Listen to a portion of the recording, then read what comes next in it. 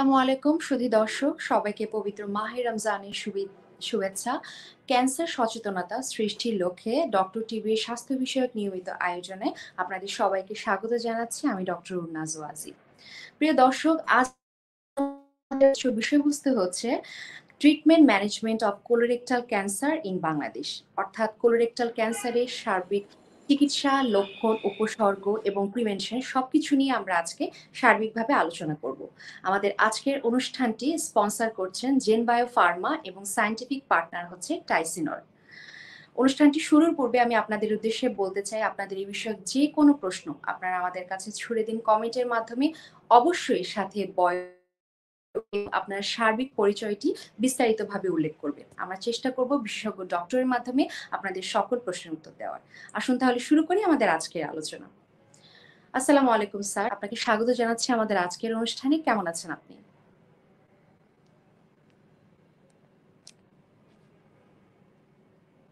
Sir, আপনি কি আমাকে শুনতে পাচ্ছেন?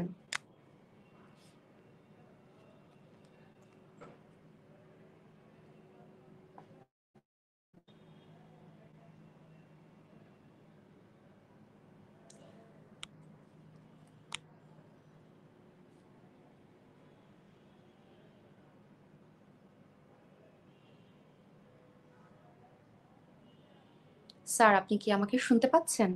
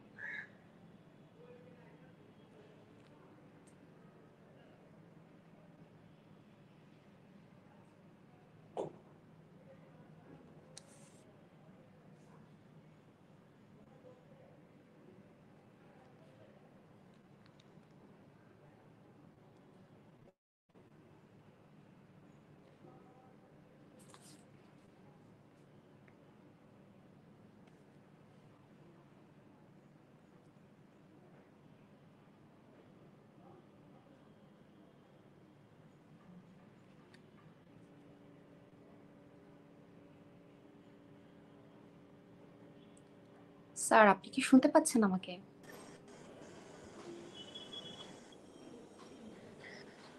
আসসালামু আলাইকুম স্যার। আমাদের সাথে আজকে বিশেষজ্ঞ ডক্টর আমাদের সাথে আজকে বিশেষজ্ঞ ডক্টর হিসেবে থাকছেন doctor Dipak Saha resident surgeon radiation oncology Dhaka Medical College এবং হাসপাতাল। আসুন তাহলে আমাদের আজকের আলোচনা শুরু করি। আসসালামু আলাইকুম স্যার। আপনাকে স্বাগত জানাচ্ছি আমাদের। আজকের অনুষ্ঠানে। কেমন আছেন আপনি? আমি ভালো আছি। সেই সাথে স্বাগত জানাচ্ছি দর্শকদের এবং মাহের রমজান- রমজানের শুভেচ্ছা এবং আসন্ন ঈদের শুভেচ্ছা এবং কলোরেক্টাল ক্যান্সার সচেতনতা মাস হিসেবে সবাইকে সচেতনতার আহ্বান জানিয়ে শুরু করছি। ধন্যবাদ স্যার। স্যার, আপনার কাছে শুরুতেই যেটা জানতে চাচ্ছি সেটা হচ্ছে আজকে তো আমরা আলোচনা করছি কোলোরেক্টাল ক্যান্সার নিয়ে। শুরুতে আপনার কাছে জানতে চাচ্ছি এই যে কোলোরেক্টাল ক্যান্সার বলছি, এই কোলোরেক্টাল ক্যান্সার বলতে আমরা কি বুঝি? কোলোরেক্টাল ক্যান্সার বলতে আমরা যেটা বুঝি যে cancer in colon and rectum colon এবং রেকটাম নামক আমাদের খাদ্য হজম হওয়ার যে আমাদের যে ডিভাইস বলি, পেটের মধ্যে যে আছে, যে খাদ্য হজম হয়ে যে রাস্তা দিয়ে খাদ্যটা পয় নিষ্কাশন হয়ে যাবে, সেই রাস্তাটাকে বলা হয় হচ্ছে বৃহদান্ত্র। এই বৃহদান্ত্রের দুইটা পার্ট একটা হচ্ছে কোলন এবং একটা রেকটাম এবং কোলন এবং রেকটাম দুইটা একটার সাথে আর সংযোগকারী হিসেবে থাকে। যে কোলনের পরেই আসলে রেকটাম থাকে, তারপর অ্যানাল ক্যানেল হয়ে খাবারের যে আমাদের যে পয় নিষ্কাশন হয়, সেটা বেরিয়ে বেরিয়ে যায়। তো এই কোলন এবং রেকটাম এই দুইটা অংশে যে ক্যান্সারগুলো হয়, তাদেরকে আসলে বলা হয় কোলন কোলোরেক্টাল ক্যান্সার। একসাথে এগুলোকে কোলোরেক্টাল ক্যান্সার হিসেবে নামকরণ করা হয়েছে। এই যে স্যার কোলোরেক্টাল ক্যান্সার বলছি, এটা কি কি? কি কি রকমের হয়ে থাকে সাধারণত? কোলোরেক্টাল ক্যান্সারের আসলে আমরা খুব একটা দেখতে পাই না। একটা ক্যান্সারই আছে যেটা সর্বাপেক্ষা মানে ছড়িয়ে থাকে এবং সব সময় কমন আমরা ওই ক্যান্সারটাকে দেখতে পাই যে কোলোরেক্টাল অ্যাডেনোকার্সিনোমা অ্যাডেনোকার্সিনোমার মধ্যে অনেক কিছু ভাগ থাকতে পারে, তবে কোলোরেক্টাল অ্যাডেনোকার্সিনোমাটাই সবচেয়ে বেশি হয়। তবে কোলোরেক্টামে অন্যান্য ক্যান্সার যেমন স্মল সেল ক্যান্সার রেক্টামে অনেক সময় স্কোয়ামাস সেল ক্যান্সার এবং অন্যান্য হিস্টোলজিক্যাল ভ্যারাইটি রেয়ারলি থাকতে পারে। তবে mainly adenocarcinoma is the most common cancer in colon and rectum তাহলে আমরা বলছি যে অ্যাডেনো অ্যাডেনোকার্সিনোমাটাই আসলে কোলোরেক্টাল ক্যান্সার এটাই বেশি হচ্ছে কমনলি হচ্ছে। এই যে স্যার এই কোলোরেক্টাল ক্যান্সারটা আমরা বলছি অবশ্যই তো কিছু কারণে হয়ে থাকে যে কোনো ক্যান্সারের স্বাভাবিকভাবে। তো কোলোরেক্টাল ক্যান্সারের ক্ষেত্রে কারণগুলা কি কি? যদি বলি আমরা রিস্ক ফ্যাক্টর যেটা যে কারণে এই ক্যান্সারটা এত বেড়ে যাচ্ছে এই কারণগুলা কি কি হতে পারে? প্রথমে আমি বলে নেই আসলে প্র্যাকটিক্যালি আমরা যেটা দেখি যে ক্যান্সার কোনো কারণ কিন্তু মানে না। ক্যান্সারের জন্য স্পেসিফিক কোনো কারণ দিয়ে আমি বলতে পারব না যে এই কারণে ক্যান্সারটা হয়েছে। তবে কিছু ইনসাইটিং ফ্যাক্টর বা রিস্ক ফ্যাক্টর থাকে যে ওই ধরনের পেশেন্টদের বা ওই ধরনের কিছু অভ্যাস যারা মেনটেন করে, তাদের এই ক্যান্সারটা হতে দেখা যায় বেশি। এর উপরে ভিত্তি করে আসলে আমরা ক্যান্সারের রিস্ক ফ্যাক্টরগুলোকে স্ট্র্যাটিফাইড করি। তো কি কি রিস্ক ফ্যাক্টর আসলে থাকে? আসলে এই রিস্ক ফ্যাক্টরগুলো থাকা মানে এই না যে যারা এই ধরনের অভ্যাসে আছে বা হচ্ছে যাদের এই রোগ আছে তাদেরই কোলোরেক্টাল ক্যান্সার থাকবে, তা কিন্তু না। তবে দেখা গেছে যাদের কোলোরেক্টাল ক্যান্সার আছে বেশিরভাগেরই এই ধরনের কিছু অ্যাসোসিয়েটেড কিছু প্রবলেম থাকে। তো সেগুলোকেই আমরা রিস্ক ফ্যাক্টর হিসেবে চিহ্নিত করে থাকি। যেমন কোলোরেক্টাল ক্যান্সারের ক্ষেত্রে ইনফ্লামেটরি বাউয়েল ডিজিজ নামক একটি রোগ আছে। এই রোগে আক্রান্ত ব্যক্তির কোলোরেক্টাল ক্যান্সার হওয়ার পসিবিলিটি যাদের ইনফ্লামেটরি বাউয়েল ডিজিজ নাই, তাদের থেকে বেশি থাকে। এরপরে কিছু বংশগত কারণ থাকে। একটা জিনিস মনে রাখতে হবে কোলোরেক্টাল ক্যান্সারে বিশ পার্সেন্ট পেশেন্ট কিন্তু বংশগতির ধারক বহন করে কিন্তু এই ক্যান্সারটা হয়ে থাকে, বিশ পার্সেন্ট অর্থাৎ বিশ পার্সেন্ট কোলোরেক্টাল ক্যান্সারের পেশেন্টদের যদি আমরা হিস্ট্রি নিয়ে থাকি, তারা কিন্তু তাদের একটা পারিবারিক ইতিহাস সম্পর্কে ইঙ্গিত করে থাকে। এই বিশ পার্সেন্টের মধ্যে যারা পড়ে, তাদের মধ্যে দুইটা রোগ কমন দেখা যায়, যেমন familial adenomatous polyposis and Lynch syndrome এই দুইটা রোগ যদি কারও থাকে বা কোনো পরিবারের মধ্যে থাকে তার বা তার পরিবারের মধ্যে এই কোলোরেক্টাল ক্যান্সার হওয়ার ঝুঁকি বেশি থাকে। এই গেল, এই জিনিসগুলো কিন্তু আমরা পরিবর্তন করতে পারব না। এগুলো জেনেটিক্যালি ডিটারমাইন্ড হয়ে থাকে।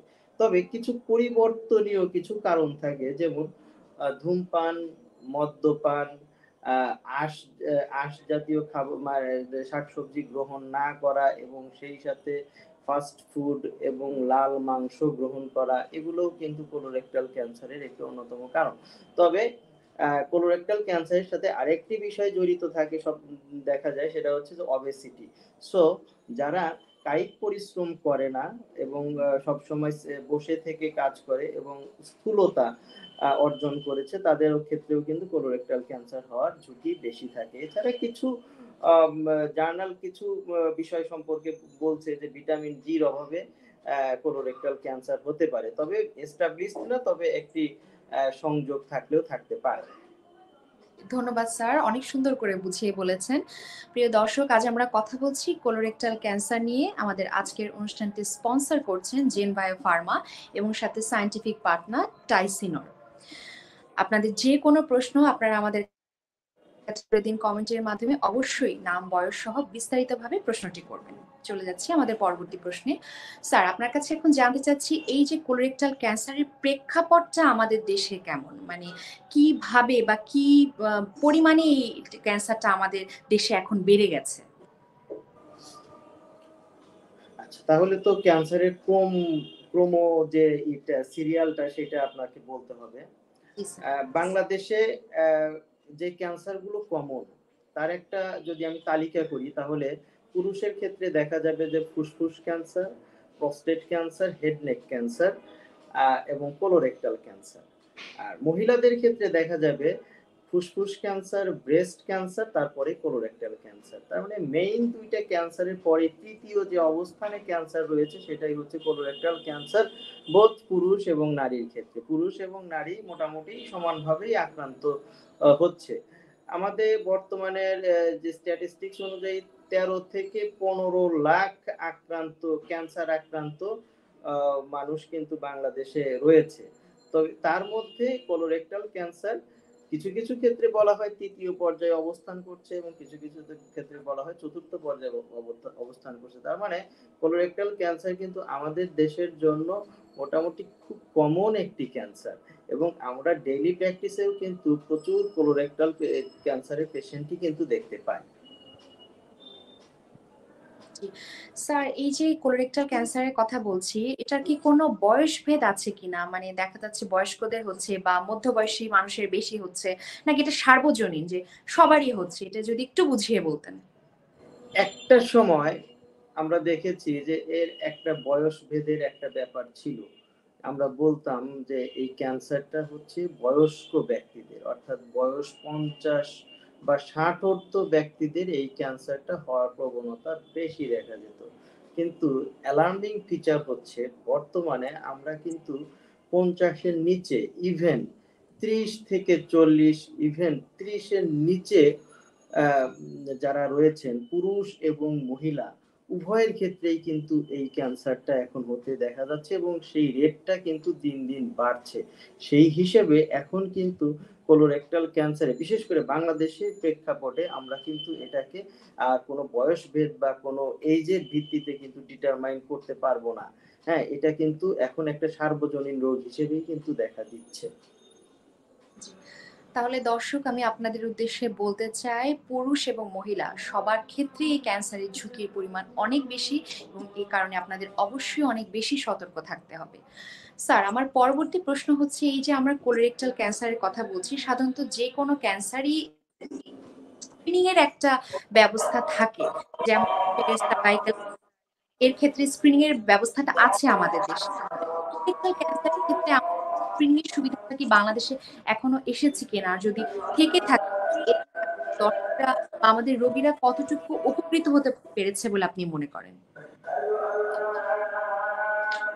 স্ক্রিনিং অন্যান্য ক্যান্সারের মতো কোলোরেক্টাল ক্যান্সারের ক্ষেত্রেও স্ক্রিনিং এর ব্যবস্থা রয়েছে এবং কোলোরেক্টাল ক্যান্সারের স্ক্রিনিং, আমি বলব যে অন্যান্য ক্যান্সারের স্ক্রিনিং যে পদ্ধতি, সেই তুলনায় অনেক সহজ।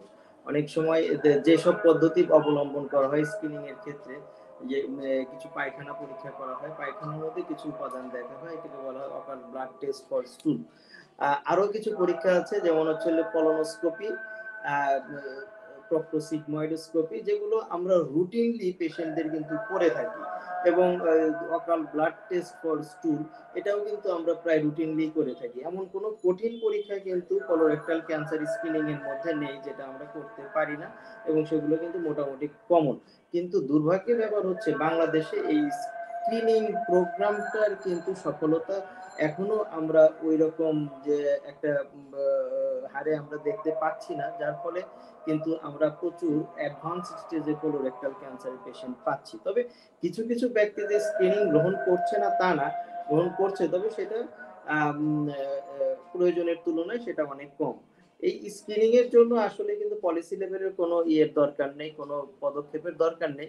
শুধুমাত্র সচেতন সচেতনতা, একমাত্র সচেতনতা দিয়েই কিন্তু আমরা কিন্তু এই স্ক্রিনিং প্রোগ্রামটাকে কিন্তু সফল করতে পারি। এবং সেই সাথে কোলোরেক্টাল ক্যান্সারের যে অ্যাডভান্সড হয়ে যাওয়ার যে একটা প্রবণতা, সেটাকে কিন্তু খুব ভালোভাবে রুখতে পারি। কারণ স্ক্রিনিং এর ফলে যেটা দেখা যাবে যে কোলোরেক্টাল ক্যান্সারের এক হচ্ছে আর্লি স্টেজে ধরা পড়বে আর একটা হচ্ছে কোলোরেক্টাল ক্যান্সারের কিছু প্রিডিসপোজিং ফ্যাক্টর আছে। যেমন অনেক সময় যাদের হচ্ছে কোলনের মধ্যে পলিপ থাকে এবং কোলন রেকটামে অনেকগুলো পলিপ থাকে। এই পলিপগুলো একটা সময় গিয়ে কোলোরেক্টাল ক্যান্সারে রূপান্তরিত হয়। তো পেশেন্ট যদি স্ক্রিনিং এর আওতায় থাকে, তাহলে কিন্তু সে যখন তার কোলন এবং রেকটামে ক্যান্সারটা বা টিউমারটা পলিপ অবস্থায় থাকবে, তখনই কিন্তু নির্মূল করে তার কিন্তু ক্যান্সারে আক্রান্ত হওয়ার ঝুঁকি অনেক কমিয়ে দেওয়া যায়। এবং যে ক্যান্সারে আক্রান্ত অলরেডি হয়ে গেছে স্ক্রিনিং এর মাধ্যমে কিন্তু তার ক্যান্সারটা আর্লি স্টেজে ধরা পড়বে এবং তার চিকিৎসার মাধ্যমে সম্পূর্ণ সুস্থ জীবন দান করা যাবে। তাহলে স্যার আমরা বলতে পারি যে স্ক্রিনিং প্রোগ্রামটাকে যদি আমরা একটু আরেকটু অগ্রসর করতে পারি তাহলে ক্যান্সারের ঝুঁকিটা কমে যাবে। স্যার, আপনি তো এই মুহূর্তে ঢাকা মেডিকেলে আছেন, ঢাকা মেডিকেলে সেবা দিয়ে যাচ্ছেন রোগীদের। তো স্বাভাবিকভাবে ওখানে অনেক আপনারা পেয়ে থাকেন এই এই ক্যান্সার নিয়ে। তো সাধারণত কি কি লক্ষণ নিয়ে রোগীরা শুরুতেই আপনাদের কাছে আসে, যেটা দেখে আপনারা মনে করেন হয়তো বা এর দিকে যেতে পারে ক্যান্সারের দিকে? আমরা ক্যান্সার বিভাগের চিকিৎসকরা ইউজুয়ালি একটা ক্যান্সার যখন ডায়াগনোসড হয় তারপরে আমরা পেশেন্টটা ডিল করি বা তখন আমাদের পেশেন্টটা দেখার সুযোগ হয়। ইউজুয়ালি যে সিমটমগুলো থাকে সেই সিমটমগুলো নিয়ে পেশেন্টরা লোকাল ফিজিশিয়ান বা মেডিসিন স্পেশালিস্ট বা সার্জন হ্যাঁ এদেরকে আগে দেখিয়ে থাকে। হ্যাঁ, তো যেসব লক্ষণ নিয়ে পেশেন্টরা এদের কাছে যায় সেগুলো কিন্তু খুবই সাধারণ লক্ষণ। খুব কোলোরেক্টাল ক্যান্সারের লক্ষণ খুবই সাধারণ। এইটাকে খুব সহজেই আমরা সাধারণ যেসব লক্ষণ আছে সেটার সাথে গুলিয়ে ফেলতে পারি। যেমন কোলোরেক্টাল ক্যান্সারের প্রথম এবং প্রধান উপসর্গ হচ্ছে পায়খানার রাস্তা দিয়ে রক্ত আসা বা পায়খানার সাথে রক্ত আসা। যেটা কিন্তু আমরা পাইলস বা হচ্ছে মলদ্বারের যে অন্যান্য রোগ যেমন হচ্ছে ফিস্টুলা পাইলস এই রোগগুলাতেও কিন্তু এই ঘটনা হয়ে থাকে। তো আমরা কিন্তু অনেক সময় কিন্তু এটা মিস করে ফেলি সেটাকে পাইলস বা ফিস্টুলা মনে করে। আরও কিছু লক্ষণ আছে যেমন আপনার পায়খানা বা মল ত্যাগের অভ্যাসের একটি অস্বাভাবিক পরিবর্তন। হ্যাঁ কারও দেখা যেত যেত যে কনস্টিপেশন বা কোষ্ঠকাঠিন্য সমস্যা ছিল, সে হঠাৎ করে লুজ মোশন তার হচ্ছে। বা কারও লুজ মোশন ছিল, তার হচ্ছে হঠাৎ করে কোষ্ঠকাঠিন্য হচ্ছে। বা কারও স্বাভাবিক পায়খানা ছিল, দিনে একবার বা দুবার, সেটা এখন হয় লুজ মোশন বা হচ্ছে কোষ্ঠকাঠিন্যে পরিণত হয়েছে এবং পায়খানার সাথে অনেক সময় দেখা যায় মিউকাস নিঃসরিত হচ্ছে, যেটাকে আমরা লোকালি কিন্তু বা পপুলেশনের মধ্যে সবাই কিন্তু আমাশয় বলে আখ্যায়িত করে, আমাশয় ট্রিটমেন্ট নিতে থাকে এবং পুরাতন আমাশয় হিসেবে তাকে আখ্যায়িত করে এই ট্রিটমেন্টটাকে কিন্তু আরও দীর্ঘায়িত এবং প্রলম্বিত করা হয়, যেটা কিন্তু ক্যান্সার আক্রান্ত হওয়ার যে পরীক্ষাগুলো সেটাকে কিন্তু অনেক দূরে সরিয়ে দেয়। যার ফলে কিন্তু ওই রোগীটা ক্যান্সার আক্রান্ত হলে যে পরীক্ষাগুলো করতে হবে, সেই পরীক্ষাগুলো করে না এবং দেখা যায় যে একটা অ্যাডভান্স পর্যায়ে এসে রোগটা তখন শেষে ধরা পড়ে। ধন্যবাদ স্যার। স্যার এই যে আপনি একটা উপসর্গের কথা বললেন সেটা হচ্ছে যে পায়খানার সাথে রক্ত যাওয়া।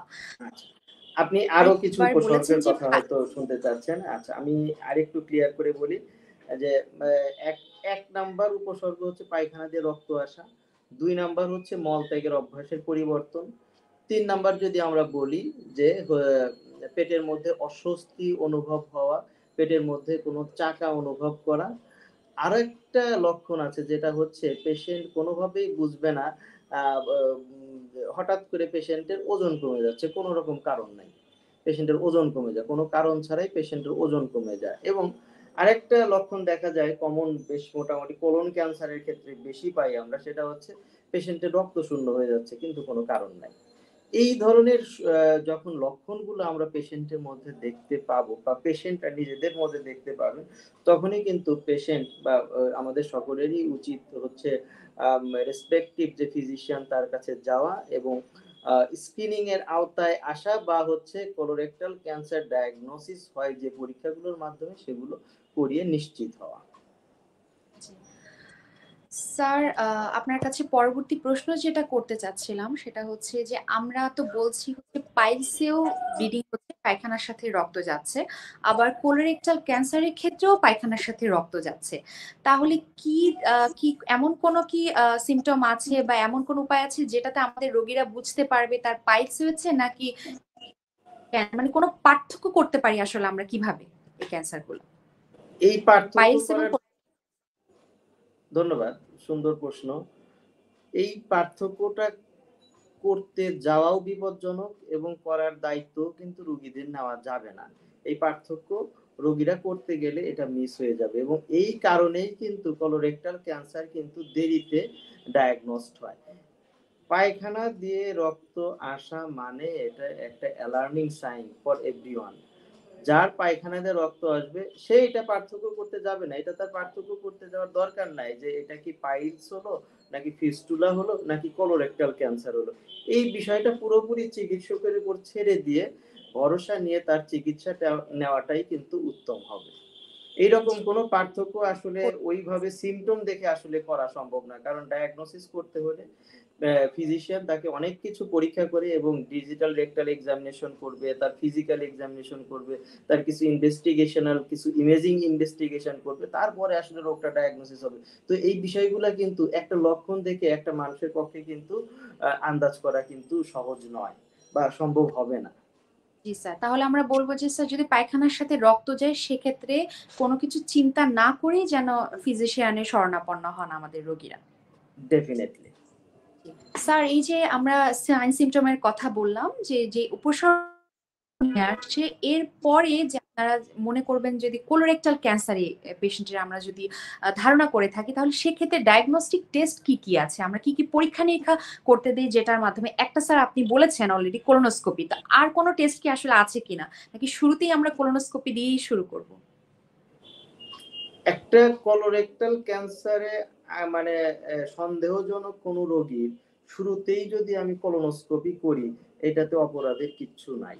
এটা, সেটাই করতে হবে আসলে, যে কলোনোস্কোপিটাই করে নেওয়া ভালো। কারণ কলোনোস্কোপি কিন্তু যেমন ডায়াগনস্টিক পারপাসে করা হয় স্ক্রিনিং পারপাসেও কিন্তু কলোনোস্কোপি করা হচ্ছে। তো সেই হিসাবে যদি কোনো পেশেন্টের এইরকম সিমটম থাকে, যে পায়খানাতে রক্ত আসছে বা মলত্যাগ মলত্যাগের যে অভ্যাসের যে অস্বাভাবিক পরিবর্তন যদি থাকে এই সিমটমগুলো নিয়ে কোনো পেশেন্ট আসলে, আমি যদি প্রথমে একটি কলোনোস্কোপি করে ফেলি, এটাতে কিন্তু অপরাধের কিছু হবে না।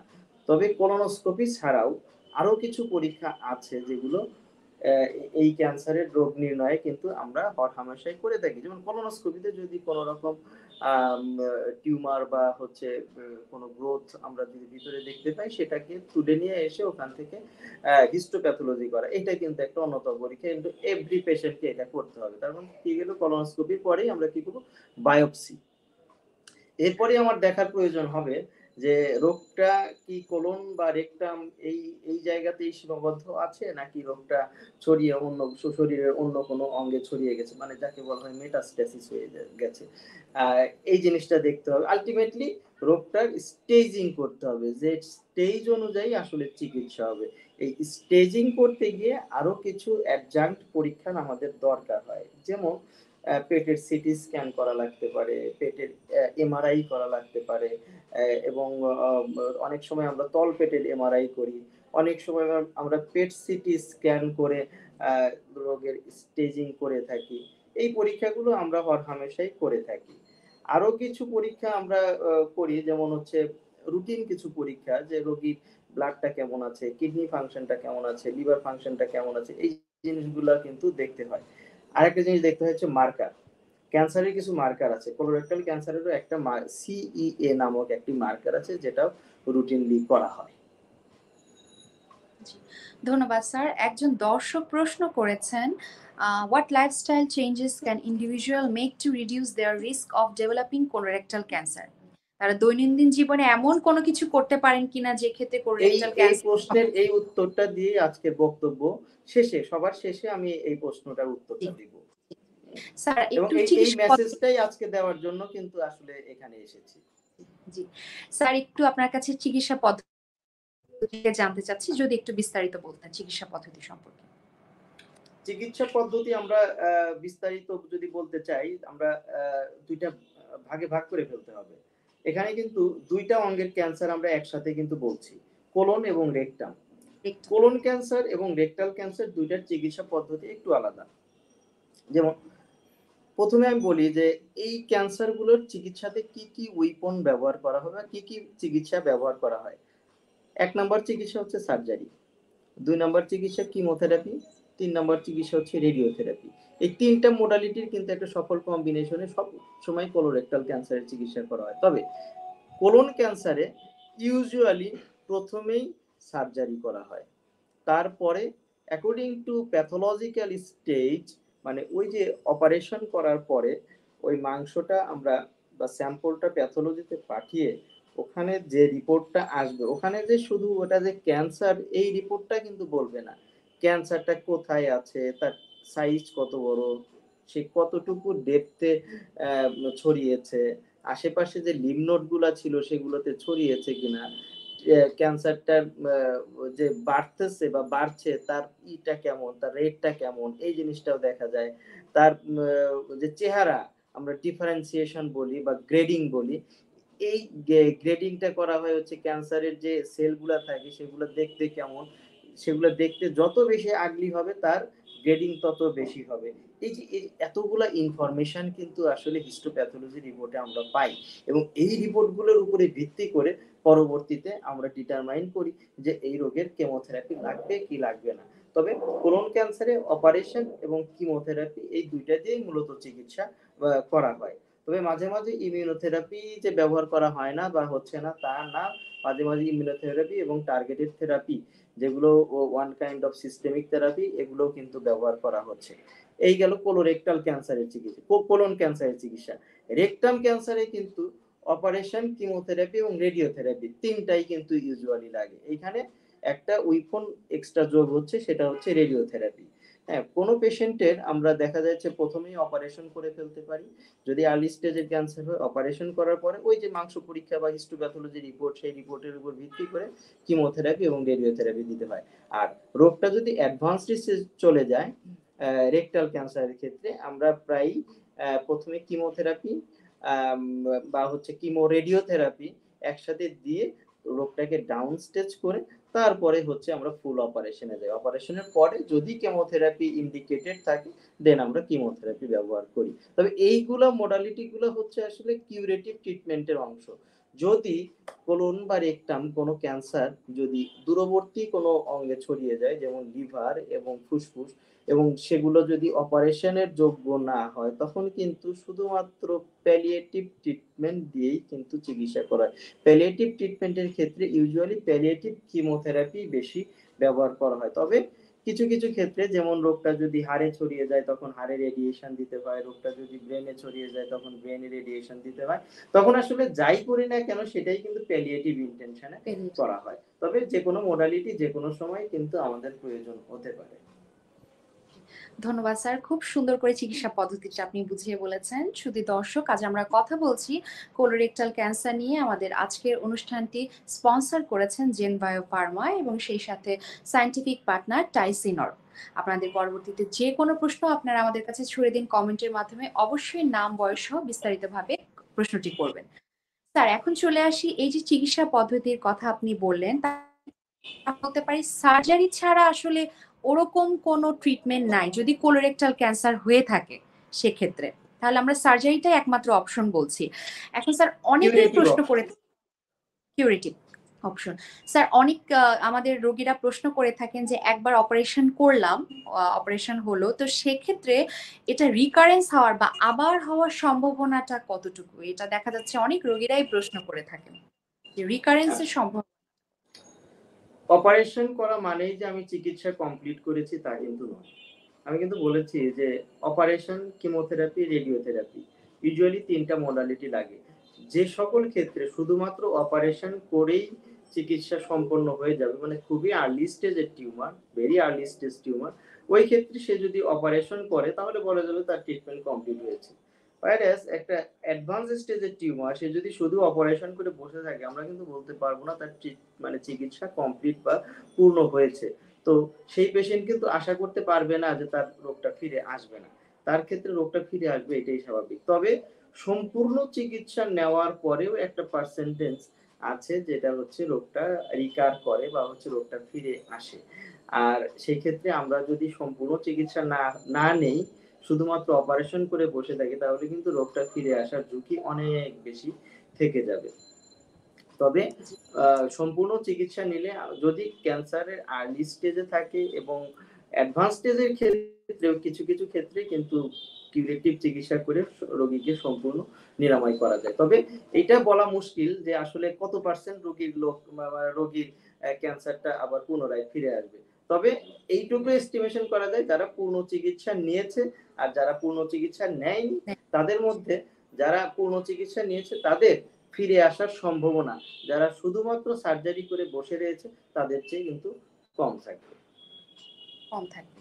স্যার আ যেকোনো ক্যান্সার আমাদের দেশে খরচ তো অবশ্যই অনেক বেশি যেকোনো ক্যান্সারের ট্রিটমেন্ট। তো কোলোরেক্টাল ক্যান্সারের ক্ষেত্রে আসলে খরচটা কেমন আমাদের দেশের প্রেক্ষাপটে? একটু যদি বলতেন? আসলে ক্যান্সার চিকিৎসাটা কিন্তু একটা ইন্ডিভিজুয়ালাইজড ট্রিটমেন্ট এর বিষয়। প্রত্যেকটা পেশেন্ট এখানে আলাদা, আলাদাভাবে আসলে বিবেচিত হবে। আমি ওই পেশেন্টের ক্ষেত্রে কি, কি চিকিৎসা দিব সেটার উপরে কিন্তু আসলে তার খরচ নির্ভর করছে। একটা পেশেন্ট যে মেটাস্ট্যাটিক কোলোরেক্টাল ক্যান্সার অর্থাৎ কোলোরেক্টাল ক্যান্সার কিন্তু সে মেটাস্ট্যাসিস নিয়ে চলে এসেছে।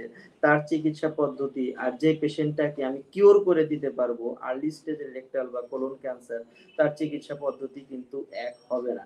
তো আসলে হলাও করে বলা সম্ভব না যে হচ্ছে খরচটা আল্টিমেটলি কত লাগবে। তবে আমাদের দেশে এই ক্যান্সার চিকিৎসার খরচ কিন্তু তুলনামূলকভাবে অন্যান্য দেশের চেয়ে অনেক কম। সেটা কীভাবে হতে পারে যে আমাদের দেশে বর্তমানে ক্যান্সারে কি, কি লাগছে? অপারেশন লাগছে। একটা অপারেশনের যে চার্জ আমাদের দেশে সেইটা পার্শ্ববর্তী দেশের তুলনায় কিন্তু আমাদের দেশে বেশি নয়। আর সেই অপারেশন যদি আমরা সরকারি হসপিটালে যদি করি ওখানে কিন্তু ফ্রি অফ কস্ট করা যায়। কাজে এখানে কিন্তু কস্ট যদি আমি চিন্তা করি সরকারি হাসপাতালে কিন্তু কস্ট অনেক কম। আবার কি লাগছে? ক্যান্সার চিকিৎসায় কিমোথেরাপি লাগছে। একটা সময় ছিল যখন কিমোথেরাপির ওষুধগুলো আমাদের বাইরে থেকে আমদানি করে নিয়ে আসতে হতো। এখন কিন্তু সেদিন নেই। এখন বাংলাদেশেই কিন্তু এহেন কোনো কেমোথেরাপির ওষুধ নাই, যেগুলো সচরাচর চলে। তার প্রাচুর্য যে আমাদের দেশে নাই তা কিন্তু না। আমাদের দেশে এখন কিন্তু কেমোথেরাপির ওষুধ বাইরে রপ্তানি পর্যন্ত করছে। তো কিমোথেরাপির খরচও কিন্তু অন্যান্য দেশের তুলনায় কিন্তু আমাদের দেশে খুবই কম এবং রেডিয়েশন এর খরচও যদি আমরা যদি তুলনা করি, সেটাও কিন্তু অন্যান্য দেশের তুলনায় আমাদের দেশে কিন্তু খুবই কম এবং সরকারি ক্ষেত্রে সেই খরচ খুবই নগণ্য বললেই চলে। তবে আলটিমেটলি কত খরচ হবে, এটা কিন্তু সংখ্যায় প্রকাশ করতে যাওয়াটা কিন্তু বোকামি হবে। কারণ এটা তো নির্ভর করবে তার স্টেজের উপরে তার কি, কি চিকিৎসা দরকার হচ্ছে, তার কোমরবিডিটিস আছে কিনা। আল্টিমেটলি তাকে আমি কীভাবে ট্রিট করব এই বিষয়টার উপরে। যেটা একটা পেশেন্ট থেকে আরেকটা পেশেন্ট কিন্তু আলাদা। হোক ২ টা পেশেন্টেরই কোলন বা রেকটাল ক্যান্সার একই ক্যান্সার হয়েছে। দুজনের ক্ষেত্রে কিন্তু চিকিৎসা পদ্ধতি আলাদা হবে। সো খরচও কিন্তু তাদের কিন্তু আলাদা হবে। তবে খরচ বাংলাদেশে কম। অর্থাৎ একেক জনের ক্ষেত্রে আসলে খরচটা একেক রকম। আমরা বলতে পারব না যে আপনার এই ধরনের খরচটা হ্যাঁ, হ্যাঁ। এইটা এইটা বলে আসলে চিকিৎসা করা সম্ভব হবে না। এই যে স্যার কোলোরেক্টাল ক্যান্সারের কথা বলছি, এটা থেকে আসলে পরবর্তীতে আর কি, কি জটিলতা হতে পারে যদি আমাদের রোগীরা অবহেলা করে বা ওরা মনে করেন আমি ট্রিটমেন্ট নিব না, বসে থাকব। সেক্ষেত্রে আর কি, কি জটিলতা হতে পারে? এটা কি মানে মৃত্যু বা মেটাস্টেসিস মানে কি, কি হতে পারে একটু যদি বুঝিয়ে বলতেন? আচ্ছা, আমি বললাম যে খুবই অত দূরে যাব না যে কত ডিভাস্টেটিং কন্ডিশন হবে। ডিভাস্টেটিং হলে আল্টিমেটলি সেটা মৃত্যু পর্যন্ত যাবে। কিন্তু মৃত্যু পর্যন্ত যাওয়াটাই যে আসলে যে একটা কথা তা কিন্তু নয়। কারণ মরতে তো আমাদের সবাইকেই হবে। কিন্তু এই যে সমস্যাগুলো তৈরি করবে কোলন বা রেকটাম এর মধ্যে যদি ক্যান্সার থাকে একটা সময় গিয়ে সেটা পায়খানা রাস্তাকে বন্ধ করে দেবে। তার পায়খানা বন্ধ হয়ে যাবে। হ্যাঁ? এবং ইন্টেস্টাইনাল অবস্ট্রাকশন নিয়ে একটা অ্যাকিউট ইমার্জেন্সি নিয়ে সে হাজির হবে এবং এই ইন্টেস্টাইনাল অবস্ট্রাকশন কিন্তু খুবই খারাপ একটা কিন্তু কমপ্লিকেশন। সেই রোগীর ইমিডিয়েট সার্জারি লাগবে এবং হচ্ছে সেটাও যদি আমরা না করতে পারি একটা সময় কিন্তু অ্যাবডোমেনের ভিতরে যে ইন্টেস্টাইন আছে সেটা বার্স্ট হয়ে যেতে পারে, পেরিটোনাইটিস হতে পারে, সেপ্টিসেমিয়া হইতে পারে এবং পেশেন্টটা কিন্তু মারা যেতে পারে। আর অন্যান্য যে সমস্যা হইতে পারে যে রোগের যদি চিকিৎসা না করি এটা যেহেতু ক্যান্সার, ক্যান্সার রোগ একসময় ছড়াবে। ১ম এ আশেপাশে ছড়াবে, তারপর দূরবর্তী অর্গানে ছড়াবে, সেটা লিভারে ছড়াবে, ফুসফুসে ছড়াবে, সেটা ব্রেনে ছড়াবে, সেটা হাড়ে ছড়াবে এবং যে অর্গানে সে ছড়াবে সেই অর্গানটাকে ড্যামেজ করে দেবে এবং আল্টিমেটলি অর্গান ড্যামেজে কিন্তু আসলে পেশেন্ট মারা যাবে। পেশেন্ট মারা যাবে। এই যে স্যার একজন দর্শক প্রশ্ন করেছেন, "what is the most effective prevention for colorectal cancer?" আসলে আমার পরবর্তী প্রশ্ন এটাই হতো যে প্রিভেনশন এর উপায়টা কি? আমরা কীভাবে এই ক্যান্সার ১ম এ যে কোয়েশ্চেন করেছে ওটাও কিন্তু একই কোয়েশ্চেন ছিল। একই রকমের প্রশ্ন ছিল। হ্যাঁ, হ্যাঁ। মানে এটা একটা মানে ম্যাটার অফ মানে হ্যাপিনেস যে সবাই সচেতনতার দিকে কিন্তু এখন নজর দিচ্ছে। হ্যাঁ। তো আচ্ছা আমি এই এই প্রশ্নের উত্তরটাই দিচ্ছি। যে এখানে আমি কিন্তু বলেছিলাম যে কিছু রিস্ক ফ্যাক্টর আছে ক্যান্সারের যেগুলো আমরা পরিবর্তন করতে পারব না। যেমন যে ব্যক্তি ইনফ্লামেটরি বাউল ডিজিজ বহন করছে তার কোলোরেক্টাল ক্যান্সার হতে পারে। তো আমি তো ইনফ্লামেটরি বাউল ডিজিজ চিকিৎসা করতে করে কন্ট্রোলে রাখতে পারি। আর যে পেশেন্টটা লিঞ্চ সিন্ড্রোম বা ফ্যামিলিয়াল অ্যাডেনোম্যাটাস পলিপোসিস এই ধরনের জেনেটিক ডিজিজ নিয়ে পৃথিবীতে এসেছে বা যার পরিবারে এই ধরনের রোগ আছে। তো তার জিনে কিন্তু এই রোগটা বহন করছে। তার জেনেটিক কোডে এই রোগটা আছে। এইটা কিন্তু আমরা কিন্তু মডিফাই তেমন একটা করতে পারব না। আমরা কি মডিফাই করতে পারব? ক্যান্সারের যে আরও কিছু রিস্ক ফ্যাক্টর আছে, সেগুলা কিন্তু মডিফাই করতে পারব। যেমন স্থূলতা একটা ক্যান্সারের কারণ কলোরেক্টাল ক্যান্সারের কারণ। তো স্থূলতা কমানোর জন্য যে সমস্ত কার্যকলাপ সেগুলো আমাদের করতে হবে। করলে আমরা কিন্তু এটা প্রিভেন্ট করতে পারব। যেমন হচ্ছে নিয়মিত শারীরিক পরিশ্রম করা এবং সপ্তাহে ন্যূনতম পাঁচ দিন ব্যায়াম করা এবং শরীরের ওজনটাকে একটা তার যে স্ট্যান্ডার্ড যে বিএমআই সেটা মেনটেন করা। এটা একটা পদ্ধতি হতে পারে। আর একটা ব্যাপার কি আছে? যে কিছু খাদ্যাভ্যাস আছে যেগুলোর সাথে ক্যান্সার জড়িত, আমরা সেগুলো অ্যাভয়েড করব। যেমন অতিরিক্ত পরিমাণে লাল মাংস ফাস্ট ফুড এই খাবারগুলো। এই খাবারগুলো দেখেন, এই খাবারগুলো একসাথে কিন্তু ওবেসিটিও তৈরি করছে, আবার কিন্তু কোলোরেক্টাল ক্যান্সারের ঝুঁকিও বাড়িয়ে দিচ্ছে। তো এই খাবারগুলো বর্জন করতে হবে। আরও কিছু ব্যাপার আছে, যেমন ধূমপান এবং মদ্যপান। ধূমপান এবং মদ্যপানের সাথে কোলোরেক্টাল ক্যান্সার ডিরেক্টলি রিলেটেড তো আমাদের ধূমপান এবং মদ্যপান থেকে বিরত থাকতে হবে। এছাড়া শেষমেশ যেটা করতে হবে যে বয়স যখন পঞ্চাশ বা তদূর্ধ্ব হবে তখন নিয়মিত স্ক্রিনিং এর আওতায় থেকে যদি কোনো জেনেটিক্যালি প্রেডিসপোজড কোনো রোগ থাকে সেটাকে নির্মূল করতে হবে। যেমন পলিপ থাকলে পলিপ কেটে ফেলতে হবে। আর যদি আর্লি স্টেজে কোনো ক্যান্সার ধরা পড়ে সেটাকে তখন তখন রিমুভ করে একটা স্বাভাবিক জীবনে চলে আসতে হবে। তার মানে আমরা ক্যান্সার প্রতিরোধের জন্য আমাদের কিছু অভ্যাস পরিবর্তনের মাধ্যমে কিন্তু এই ক্যান্সার প্রতিরোধ করতে পারি। এক, ধূমপান বা মদ্যপান না করা। দুই খাদ্যাভ্যাসের একটি পরিবর্তন, কি ধরনের পরিবর্তন? ভালো পরিবর্তন। যেমন সবুজ শাকসবজি খেতে হবে ফলমূল, মাছ মাংস আমরা খাব, কিন্তু বর্জন করব লাল মাংস। এবং নিয়মিত কায়িক পরিশ্রম করব। এবং এবং নিয়মিত ব্যায়ামের মাধ্যমে আমাদের স্থূলতা যেন না হয়, সেদিকে লক্ষ্য রাখব। এই মোটামুটি কয়েকটা বিষয় কিন্তু ই করতে পারলে আমরা যদি মেনে চলতে পারি, আমরা কোলোরেক্টাল ক্যান্সার প্রতিরোধ করে কোলোরেক্টাল ক্যান্সারের ঝুঁকি অনেক কমিয়ে তুলতে পারব। তাহলে স্যার, আমরা আসলে বলতে আমাদের দৈনন্দিন জীবনের অনেক কিছুরই অভ্যাস আছে যেগুলো পরিবর্তনের মাধ্যমে আমরা এই ক্যান্সারের ঝুঁকিটা অনেকাংশে কমিয়ে নিতে পারি। অবশ্যই আমাদের রোগীদের হাতেই এই অপশনগুলো রয়েছে। স্যার, আমরা অনুষ্ঠানের প্রায় শেষ পর্যায়ে চলে এসেছি। দর্শকদের উদ্দেশ্যে আপনার যদি কোনো পরামর্শ থেকে থাকে। দর্শকদের উদ্দেশ্যে পরামর্শ একটাই। আমি বলে দিলাম, ক্যান্সারের কারণ কি, প্রতিরোধের উপায় কি সেটাও বলেছি। এবং কি করতে হবে সেটাও বলে দিয়েছি। তো দর্শকরা কোলোরেক্টাল ক্যান্সার চান কি চান না অ্যান্সার কিন্তু এখন আপনাদের হাতেই। হ্যাঁ আপনারাই এটা নিরূপণ করবেন যে আমরা কোলোরেক্টাল ক্যান্সার নিয়ে থাকব নাকি কোলোরেক্টাল ক্যান্সার মুক্ত বাংলাদেশে বসবাস করব। ধন্যবাদ, স্যার। আপনাকে অসংখ্য ধন্যবাদ। আপনি আপনার ব্যস্ততম সময়ের মাঝে আমাদের সময় দিয়েছেন। ডক্টর টিভিকেও ধন্যবাদ, সেই সাথে আপনাকেও ধন্যবাদ জানাচ্ছি। এই অনুষ্ঠানে এসে মানুষকে কিছু বলে, সচেতনতার কথা বলে অন্তত নিজেকে ধন্য মনে হচ্ছে। ধন্যবাদ সবাইকে। যদি দর্শক, আজ আমরা কথা বললাম কোলোরেক্টাল ক্যান্সার নিয়ে। আজ আমরা বিস্তারিতভাবে ক্যান্সার নিয়ে আলোচনা করলাম। আমাদের অনুষ্ঠানটি স্পন্সর করেছেন জেন বায়ো ফার্মা শেখ সাথে সায়েন্টিফিক পার্টনার টাইসিনর আচ্ছা তাহলে এখানেই শেষ করছি। দেখা হবে আগামীতে নতুন কোনো অতিথির সাথে, নতুন কোনো বিষয় নিয়ে। ততদিন পর্যন্ত সুস্থ থাকুন, ভালো থাকুন। আসসালামু আলাইকুম।